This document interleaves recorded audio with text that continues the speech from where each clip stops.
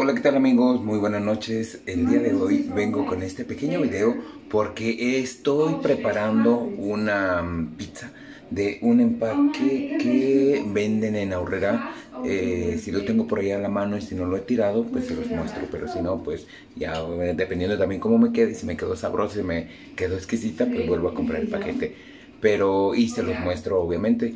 Pero fíjense que eran muy poquitos ingredientes debido a que no tenía pensado realizarla.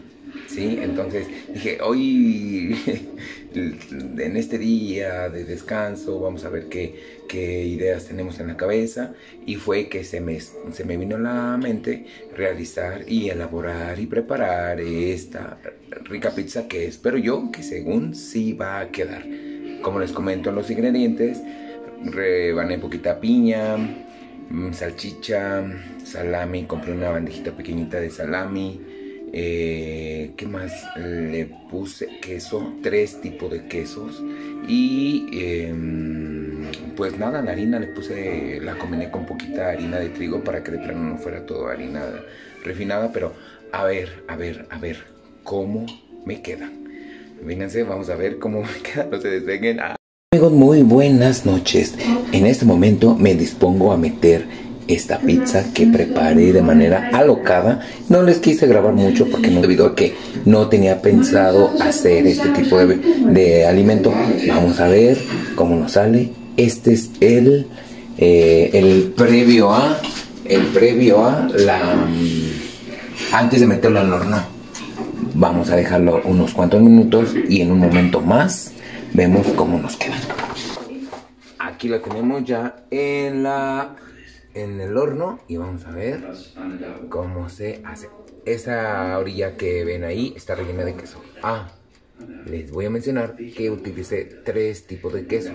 A ver, y yo pensé, tengo que hacerla y tengo que llenarle todos esos ingredientes que me hacen falta cuando yo me como en una pizza normal. ¿Sale? Nos vemos en un momento más.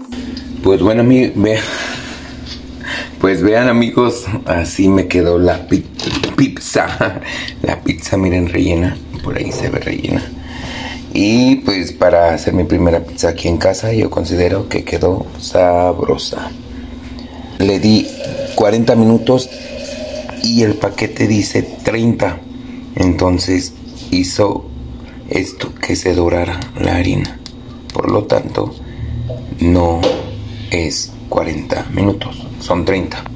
Bueno amigos, hasta aquí les dejo este video. Espero la preparen. ¿Está buena? Mm, la verdad es eh, sabrosa. Crujiente. Nos vemos a la siguiente. Provecho.